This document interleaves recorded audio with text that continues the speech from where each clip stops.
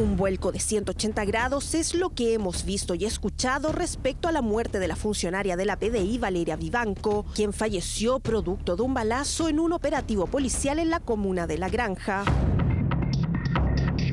Según las nuevas investigaciones y antecedentes de la Fiscalía, la bala que terminó con la vida de esta joven funcionaria habría venido de fuego amigo.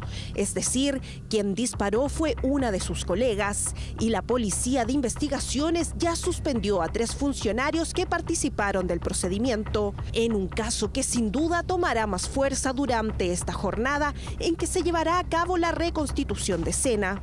Esta es mi hija, esta una joven con, futuro, con ganas, que respetaba la justicia, que respetaba la ley. 25 años. Un desgraciado la mató. Valeria Vivanco falleció en la tarde del pasado domingo 13 de junio. Todo comenzó tras la muerte de una mujer en la comuna de Puente Alto. Desde esa comuna comenzó una persecución se cruza con eh, un vehículo que intentar la fiscalización de los ocupantes del mismo, de inmediato los eh, ocupantes de este habrían efectuado un disparo en contra de la funcionaria.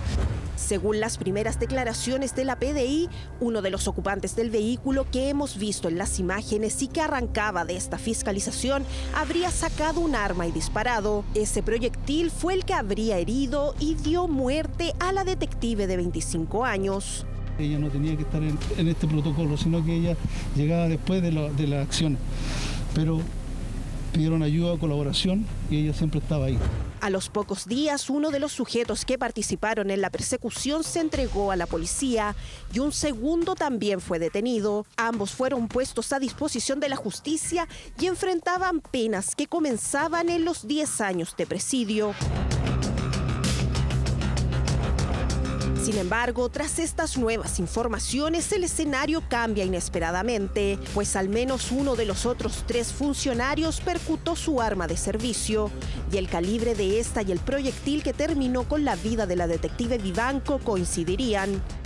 Si ustedes actúan dentro de las facultades que nos mandatan las leyes y apegados a los valores y ética policial, contarán siempre con el apoyo irrestricto de este director general y su alto mando, independiente del costo que ésta tenga para alcanzarla y duela lo que nos duela.